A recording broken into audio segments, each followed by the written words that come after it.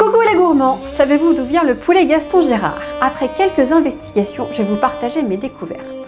Le poulet Gaston Gérard a été inventé en 1930 dans une rue dijonnaise dans la cuisine de Reine Geneviève Bourgogne et baptisé du nom de son mari, l'homme politique Gaston Gérard, ministre maire député de Dijon. En fait, il s'agit d'un incident de cuisine lorsque Reine a voulu préparer un poulet à sa façon et a accidentellement renversé un flacon de paprika dans sa cocotte lors de sa préparation. Pour rattraper son incident, elle décide d'y ajouter du vin blanc de Bourgogne, de la crème fraîche et du comté râpé. Le plat avait été préparé pour le prince des gastronomes Kurnowski, humoriste et célèbre critique gastronomique de l'époque. La recette a été une réussite et le plat a plu à leur hôte et critique gastronomique illustre qui félicite la maîtresse de maison et choisit de la baptiser du nom de son hôte, Gaston Gérard.